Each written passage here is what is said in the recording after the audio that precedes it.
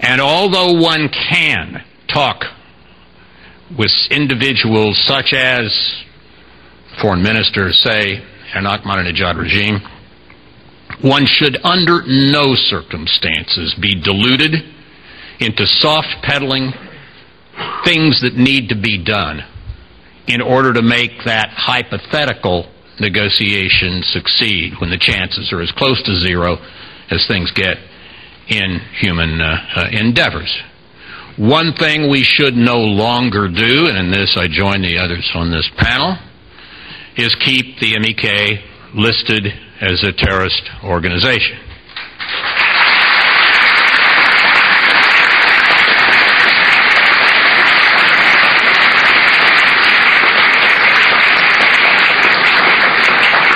In 22 years of practicing law, I read a lot of uh, legal decisions, and uh, I recently read the Circuit Court's decision in the case involving the MEK versus the State Department. Uh, and I, my experience, and I think that of most lawyers who are interested in international matters, is that courts ordinarily give a great deal of deference to the executive branch with respect to the conduct of foreign policy.